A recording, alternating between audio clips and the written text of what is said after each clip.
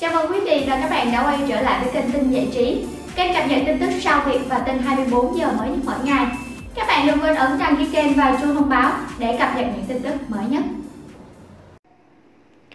Con trai 6 tuổi của nghệ sĩ ưu tú Kim Tử Long lúc 2 tuổi đã biết múa, 5 tuổi hát và diễn xuất tốt. Kim Tử Long hiện tại là giám khảo của cuộc thi Sao Nói Ngôi mùa 4 Thi thoảng khi đi quay hình, anh dẫn theo con trai 6 tuổi bé Andy Khánh, tên thật Hoàng Gia Khánh. Bé Andy là con của anh và người vợ thứ ba, nghệ sĩ Trinh Trinh. Nghệ sĩ còn có 5 người con, ba gái, hai trai, nhưng chỉ có Andy Khánh bày diễn xuất giống cha. Lần đầu Andy Khánh xuất hiện trên màn nhỏ Lần đầu Andy Khánh xuất hiện trên màn ảnh nhỏ là năm 2015 tại game show Danh hài đất Việt. Đến chương trình Đường đến danh ca vòng cổ năm 2016, Andy thứ ba từ trái qua diễn phụ họa cho một tiết mục. Cậu bé đóng vai con của một đôi vợ chồng miền Tây có gia cảnh nghèo khó, Diễn viên nhí gây ấn tượng với giám khảo Ngọc Huyền Thoại Mỹ qua lối diễn tự nhiên dạng dĩ trên sân khấu. Nghệ sĩ Kim Tử Long kể, lúc 2 tuổi con trai anh đã cầm kiếm, múa tuồng, 5 tuổi em bé đã hát cảm âm vọng cổ tốt, nhôn nhuyễn, đều động tác múa. Để con trai tự tin hơn, anh thường xuyên cho bé tham gia diễn xuất tại các cuộc thi anh làm giám khảo. Kim Tử Long kỳ vọng sau này con lớn lên, con có đam mê với cải lương, vọng cổ. Nếu không, tôi vẫn ủng hộ con trai theo con đường bé yêu thích. Cha mẹ sinh con trời sinh tính, tôi muốn con phát triển tự nhiên thay vì gượng ép phải theo nghiệp của cha, Kim Tử Long chia sẻ. Là một nghệ sĩ cả lương thành công, Kim Tử Long luôn được khán giả đón nhận và yêu quý. Tuy nhiên, nam nghệ sĩ cho biết anh không muốn dừng lại ở thành công cá nhân, mà anh hy vọng có thể chia sẻ nó đến tất cả mọi người, đặc biệt là lớp nghệ sĩ hậu bối. Vì vậy mà Kim Tử Long luôn ôm trong mình ước nguyện có một sân khấu cải lương riêng. Để anh có thể đầu tư nhiều hơn những tác phẩm hay tạo sân chơi cho các nghệ sĩ trẻ theo đuổi bộ môn nghệ thuật truyền thống này.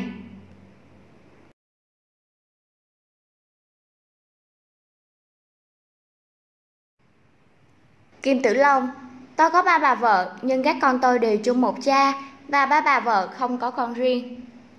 Người phụ nữ muốn giữ hạnh phúc thì phải nhún nhường, chịu lép vế một chút trước người đàn ông, Kim Tử Long nói. Kịch tính đến từ hai vị khách mời là nghệ sĩ Kim Tử Long và diễn viên Việt Trinh. Kim Tử Long, phụ nữ nếu muốn hạnh phúc thì phải nhún nhường. Chủ đề tranh luận của chương trình tuần này là chuyện nuôi con chung, con riêng giữa các cặp vợ chồng. Trước chủ đề này, Kim Tử Long chia sẻ, dù là con riêng hay con chung thì quan trọng vẫn là hai vợ chồng hiểu nhau. Nếu hai vợ chồng ích kỷ, không chịu thấu hiểu thì không được. Tôi không biết mọi người thế nào, nhưng bản thân tôi có đến ba bà vợ, ba dòng con, nhưng cả ba dòng con của tôi đều yêu thương nhau. Tuy có đến ba bà vợ, ba dòng con, nhưng các con của tôi đều chung một cha và ba bà vợ không ai có con riêng.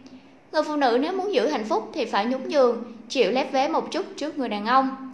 Nghe Tim Tử Long nói vậy, Việt Trinh tỏ ra không đồng ý. Cô nói, anh Kim Tử Long có đến 5 người con thuộc ba dòng con khác nhau, nhưng may mắn đều là chung một cha ba bà vợ của anh ấy không có con riêng. Bởi vậy nền giáo dục nuôi dạy con cái giúp chúng hòa thuận với nhau dễ dàng hơn. Tôi không đồng ý khi anh kim tử long nói phụ nữ phải lùi một bước phải nhẫn nhịn phải làm hậu phương để giữ gìn hạnh phúc rồi phải chia sẻ mọi thứ với chồng con chung con riêng. Nếu người phụ nữ chỉ chịu đựng một mình như thế mà không có người đàn ông chia sẻ thì không bao giờ hạnh phúc được. Anh Kim Tử Long may mắn gặp được người vợ hiện tại của anh, đó là người phụ nữ rộng lượng, chứ phải người phụ nữ khác thì chưa chắc. Nếu tôi là người phụ nữ có con riêng, đi lấy chồng cũng có con riêng, tôi sẽ đối xử công bằng với cả hai đứa con. Kể cả thấy chồng đối xử với con riêng của chồng thiên vị hơn, tôi cũng sẽ xử lý công bằng, chứ không vì thế mà bên con mình.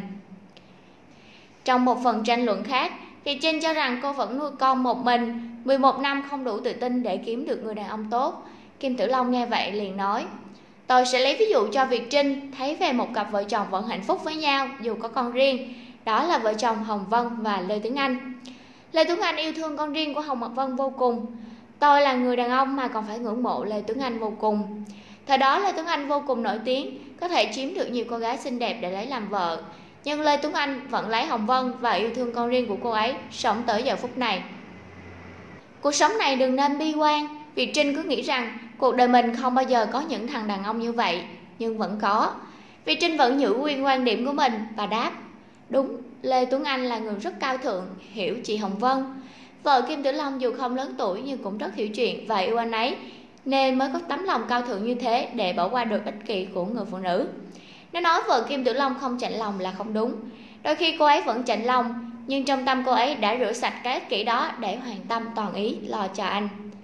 Tôi thì không tự tin để tìm một người như Lê Tuấn Anh hay vợ Kim Tử Long. Kim Tử Long nghe Việt Trinh trình bày, bày tỏ quan điểm liền nói Cuộc đời này nếu cứ sống ích kỷ thì hạnh phúc không bao giờ đến. Bị nói sống ích kỷ, Việt Trinh liền ngắt lời Kim Tử Long vì bất đồng quan điểm. Cô nói, tôi xin ngắt lời Kim Tử Long, hạnh phúc đối với mỗi người là khác nhau. Hạnh phúc với tôi không phải là một người đàn ông bên cạnh lo cho tôi. Hạnh phúc của tôi đến từ nhiều phía. Kim Tử Long tiếp tục tranh luận.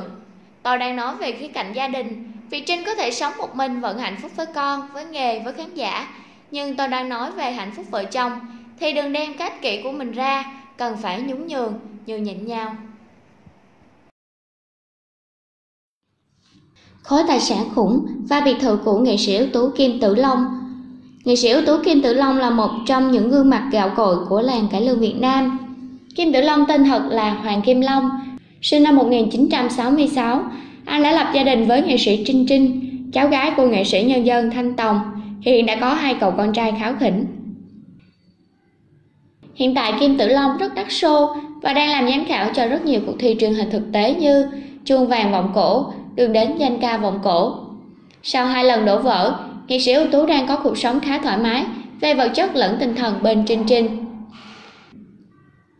Sau nhiều năm hoạt động nghệ thuật, Kim Tử Long đã có khối tài sản khủng khiến nhiều người ngưỡng mộ. Biệt thự của nghệ sĩ ưu tú Kim Tử Long nằm biệt lập ở khu dân cư Đại Phúc.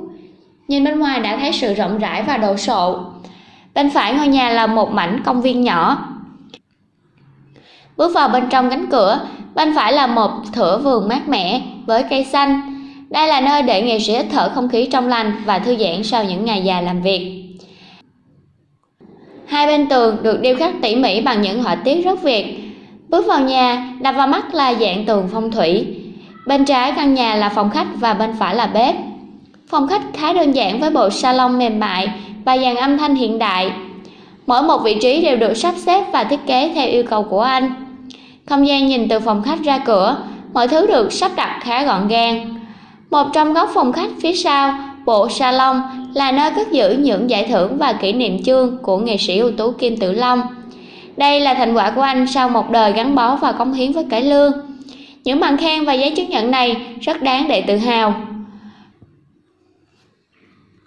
Ngoài ra, nghệ sĩ ưu tú Kim Tử Long cũng để một số tấm ảnh của anh ngày cũ. Còn rất nhiều giải thưởng và bằng khen khác được nghệ sĩ ưu tú Kim Tử Long đặt trang trọng vào một góc của căn bếp. Phòng bếp sạch sẽ với không gian thoáng đẳng và thoải mái. Ngoài những vật dụng được chạm khắc tỉ mỉ thì chúng còn được bố trí hợp phong thủy. Ở phòng này, nghệ sĩ chọn tông màu đen trắng. Có rất nhiều giải thưởng và bằng khen khác được nghệ sĩ Kim Tử Long đặt trang trọng vào một góc của căn bếp. Mọi thứ trong căn bếp đều hiện đại và phục vụ cho sự sáng tạo của người nấu nướng. Bên cạnh bàn ăn là một bức tường đặc biệt tạo điểm nhấn cho cả căn phòng. Phong cách trang trí có phần tương đồng với phòng khách. Ngoài biệt thự rộng lớn, Kim Tử Long còn sở hữu chiếc ô tô tiền tỷ để phục vụ nhu cầu đi diễn. Năm 2017, Kim Tử Long lấn sang kinh doanh nhà hàng. Xuất phát từ mong muốn đem đến cho thực khách cơ hội thưởng thức những bữa tiệc buffet chất lượng với mức giá phải chăng, nghệ sĩ ưu tú Kim Tử Long đã cho ra đời Quá đã BBQ. Hiện tại đã có hai chi nhánh tại 171 Cao Thắng, phường 12 quận 10 và Quá đã 2 ở 128 tên lửa An Lạc A, Bình Tân, Hồ Chí Minh. Tông màu chủ đạo được nhà hàng sử dụng là gam trung tính, kết hợp cùng các chi tiết nội thất bằng gỗ và kim loại, đem đến cảm giác sang trọng lịch sự. Cùng với đó, cách sắp xếp bàn ghế đơn giản nhưng sáng tạo giúp quá đã BBQ tiết kiệm được khá nhiều không gian. Quá đã BBQ có view khá thích. Bạn có thể mời gia đình, bạn bè đến đây ăn tối để tận hưởng không gian yên tĩnh và ngắm phố xá Sài Gòn về đêm. Có những chỗ ngồi cho bạn lựa chọn, từ đơn, đôi đến nhóm đông người. Vì sức chứa của khách quá đã, BBQ lên đến 200 khách, nên không hề lo thiếu chỗ. Không chỉ vậy, các bạn nhân viên ở đây rất thân thiện và nhiệt tình. Nếu thực khách có gì thắc mắc, chắc chắn bạn sẽ được giải thích tường tận về các chương trình khuyến mãi cũng như cách gọi món và tính tiền tại nhà hàng. Cảm ơn quý vị và các bạn đã theo dõi. Quý vị và các bạn đừng quên ấn đăng ký kênh và chuông thông báo để cập nhật những tin tức mới nhất mỗi ngày nhé.